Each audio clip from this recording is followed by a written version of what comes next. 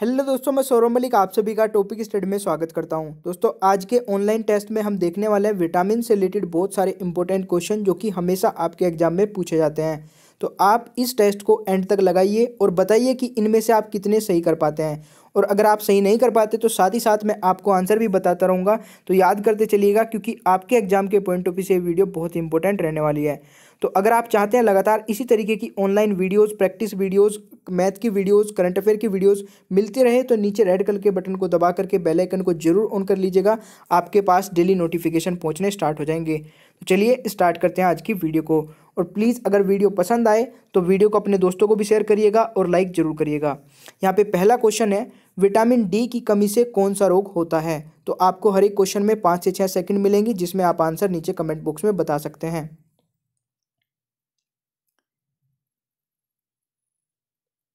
तो बिल्कुल सही है, यहाँ पे ऑप्शन ए राइट आंसर हो जाएगा। क्वेश्चन नंबर टू किस विटामिन की कमी से खून का बहना रुकता नहीं है?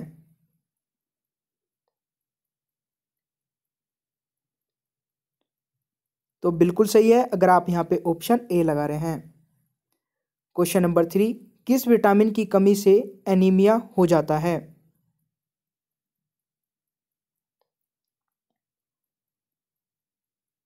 तो वेरी गुड अगर आप ऑप्शन डी लगा रहे हैं। ठीक है? तो चलिए नेक्स्ट क्वेश्चन पे चलते हैं। क्वेश्चन नंबर फोर मनुष्य में नेत्रों के संचालन के लिए कौन सा विटामिन आवश्यक है? बहुत इंपॉर्टेंट क्वेश्चन है सारे के सारे। अगर टेस्ट पसंद आएगा तो लाइक ज़रूर करिएगा।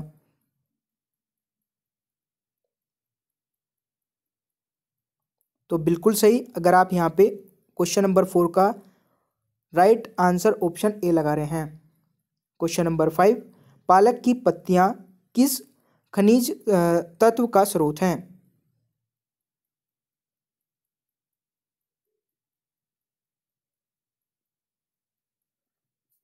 तो बिल्कुल सही, यहाँ पे पांचवे का राइट आंसर ऑप्शन ए हो जाएगा।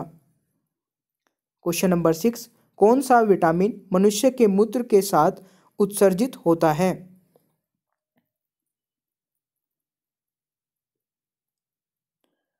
बहुत ही अच्छा क्वेश्चन है सिक्स और यहाँ पे राइट आंसर ऑप्शन डी हो जाएगा, यानी कि बी और सी दोनों ही आपके होते हैं।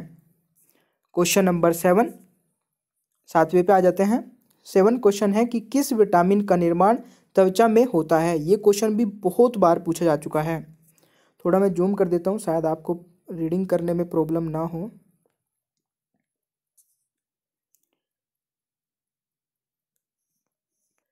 क्वेश्चन नंबर सेवन का राइट आंसर ऑप्शन सी हो जाएगा।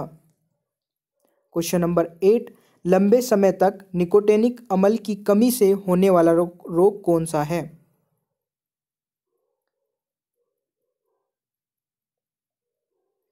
तो बिल्कुल सही, अगर आप यहाँ पे क्वेश्चन नंबर एट का राइट आंसर ऑप्शन बी लगा रहे हैं। क्वेश्चन नंबर नाइन गाय का दूध किस विटामिन का अच्छा स्रोत नहीं है?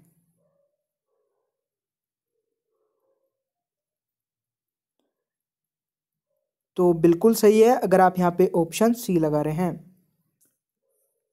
Question number ten vitamin B complex कितने विटामिनों का समूह है?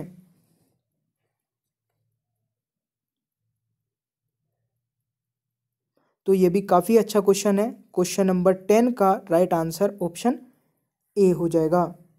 क्वेश्चन नंबर इलेवन दूध किस खनिज तत्व का अच्छा स्रोत है?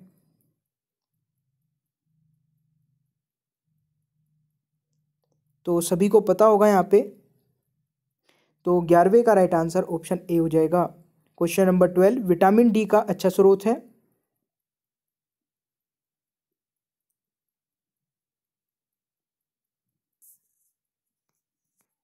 तो देखिए यहाँ पे विटामिन डी के जो अच्छा स्रोत है ऑप्शन के अकॉर्डिंग ए और बी दोनों राइट आंसर हो जाएँगे। बट विटामिन डी का अगर ऑप्शन यहाँ पे सच्चा आ, मतलब बोला जाए और आपको ऑप्शन दे रखा हो यहाँ पे सन तो यहाँ पे sun is the right answer हो जाएगा, ठीक है? तो बट अभी ऑप्शन के अकॉर्डिंग ये दोनों ही राइट आंसर हो जाएँगे। Question number thirteen vitamin C किसमें सहायक है?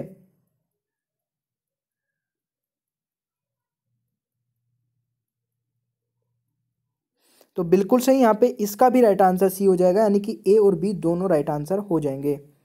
ठीक है? चलिए नेक्स्ट क्वेश्चन पे चलते हैं। क्वेश्चन नंबर फोर्टीन है सल्फ़र के स्रोत बताएँ। तो यहाँ पे देखिए ए बी और सी मीट अंडा, मछली, सभी के सभी सल्फ़र के स्रोत हैं, यानी कि ऑप्शन डी राइट आंसर हो जाएगा। क्वेश्चन नंबर फिफ्टीन क्लोरीन का शरीर में क्या कार्य है?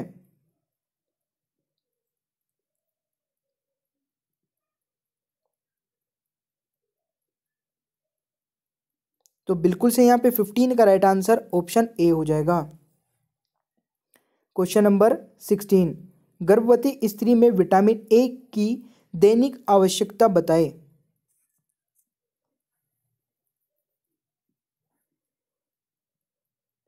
तो बिल्कुल सही, अगर आप यहाँ पे ऑप्शन डी लगा रहे हैं। क्वेश्चन नंबर सेवनटीन त्वचा की देखभाल किस प्रकार की जा सकती है?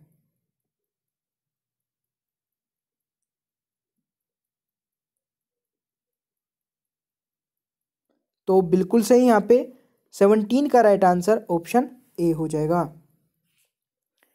क्वेश्चन नंबर एटीन संतुलित आहार की एक विशेषता बताएँ।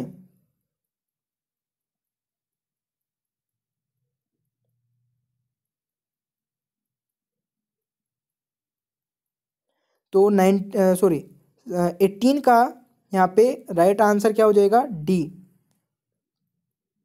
बिल्कुल सही। नाइनटीन का राइट आंसर बताइए। एक ऐसी संस्था का नाम बताएँ जो विश्व स्तर पर स्वास्थ्य की समस्याओं को दूर करने के लिए प्रयासरत हैं। तो प्रयासरत कौन है यहाँ पे? ये बिल्कुल सही, सभी आप सभी को पता होगा। Option A is the right answer ठीक है? World Health Organization W H O question number twenty है, साधारण व्यक्ति के संतुलित भोजन में प्रोटीन की मात्रा क्या होनी चाहिए?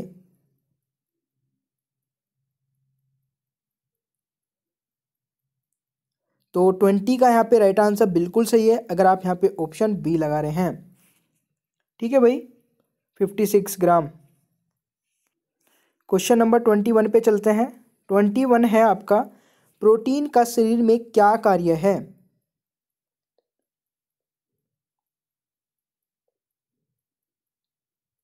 तो बिल्कुल सही, अगर ट्वेंटी वन का डी ऑप्शन आप लगा रहे हैं तो very good right answer D हो जाएगा।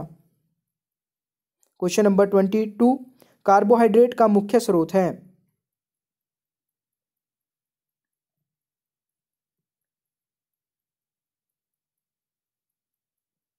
तो यहाँ पे ट्वेंटी टू का राइट आंसर हो जाएगा। डी ये सभी। Question number twenty three Khalistan मुख्य रूप से संचित भोजन को ऊर्जा के रूप में एकत्रित करती है एकत्रित करती है।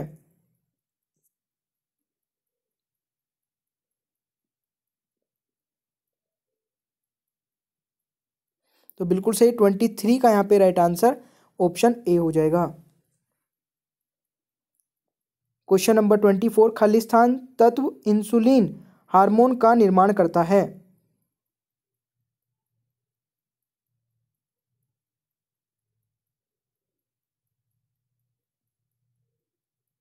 तो बिल्कुल सही ट्वेंटी फोर का राइट आंसर ऑप्शन ए हो जाएगा। ट्वेंटी फाइव दांतों के इनमेल के निर्माण में कौन सहायक है?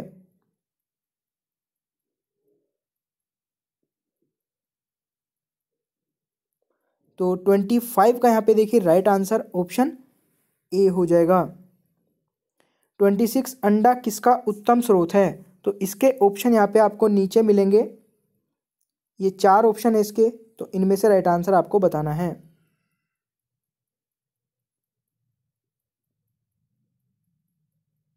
तो यहाँ पे ट्वेंटी सिक्स का देखिए राइट आंसर ऑप्शन सी हो जाएगा। ये दोनों ए और B is the right answer question number twenty seven आहारी रेशो खालिस्तान भी कहलाते हैं। क्वेश्चन नंबर ट्वेंटी सेवन बताइएगा।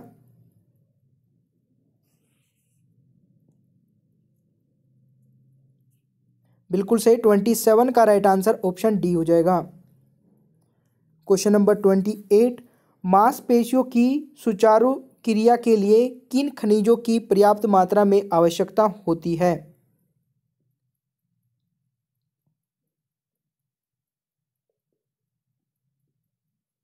तो ट्वेंटी एट का यहाँ पे देखिए राइट आंसर हो जाएगा।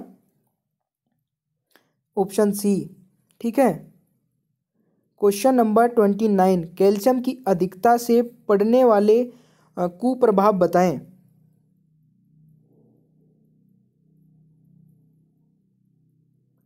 तो ट्वेंटी नाइन का यहाँ पे राइट आंसर ऑप्शन सी हो जाएगा। ठीक है भाई? क्वेश्चन नंबर थर्टी कार्बोहाइड्रेट में पाए जाने वाले मुख्य तत्व कौन कौन से हैं?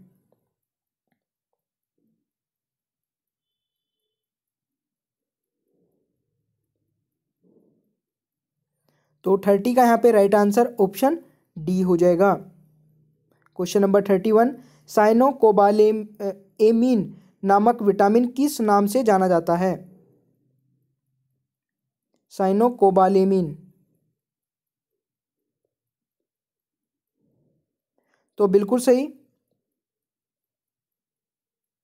थर्टी वन का राइट आंसर ऑप्शन बी हो जाएगा। Question number thirty two, protein में कौन से तत्व पाए जाते हैं?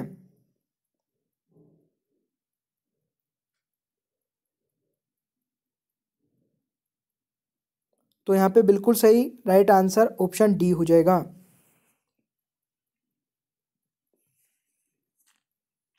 थर्टी थ्री, वसा के मुख्य स्रोत क्या हैं?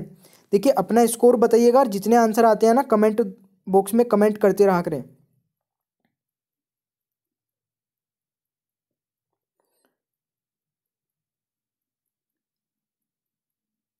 तो बिल्कुल सही है। वसा के मुख्य स्रोत क्या हैं? थर्टी थ्री का राइट आंसर ऑप्शन डी हो जाएगा। ये सभी हैं, ठीक है? सभी को पता है।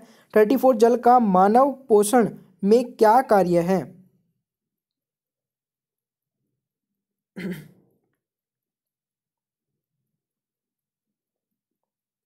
तो थर्टी फोर का राइट आंसर ऑप्शन ए हो जाएगा। थर्टी फाइव, पोषक तत्व कितने प्रकार के होते हैं?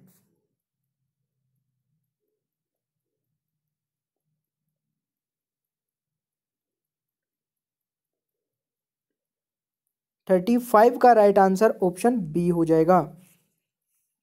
ठीक है भाई? Question number thirty six vitamin B twelve की कमी के लक्षण बताए जाते हैं।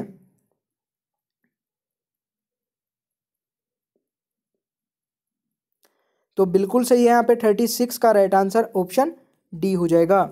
दोस्तों, अगर आपको ये टेस्ट पसंद आया है तो लाइक कर दीजिएगा शेयर कर दीजिएगा। सारे के सारे आंसर मैंने यहाँ पे दे दिए हैं। अगर आपको इसकी पीडीएफ डाउनलोड करनी है तो टॉपिक स्टडी के टेलीग्राम चैनल पे जाइए।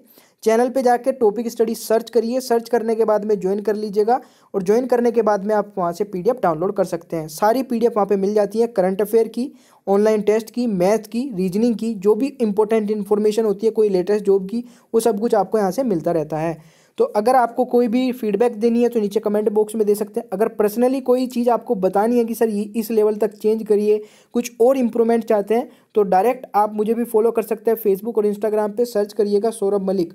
S A U R A B H M A L I K और सेवनटीन के ऐड कर दीजिएगा। लास्ट में अगर आप इंस्टाग्राम पे सर्च कर रहे हैं विदाउट एनी स्पेस स्पेस मत दीजिएगा नाम के बीच में, कहीं पे भी। सौरभ मलिक सेवनटीन के ठीक है, ये सर्च करिएगा इंस्टाग्राम पे। और वहाँ पे फॉलो करके जो भी आपका डाउट है, किसी क्वेश्चन में डाउट है तो आप वहाँ पे पूछ सकते हैं। अगर आपने वीडियो को लाइक शेयर नहीं किया है तो लाइक शेयर कर दीजिएगा। टेस्ट पसंद आता है तो यार खुद ही लाइक कर दिया करो। अपने दोस्तों को भी शेयर ज़रूर कर दिया करें। मिलते हैं नेक्स्ट वीडियो में, तब तक के लिए टेक केयर वीडियो को देखने के बहुत बहुत धन्यवाद। आपका दिन शुभ हो।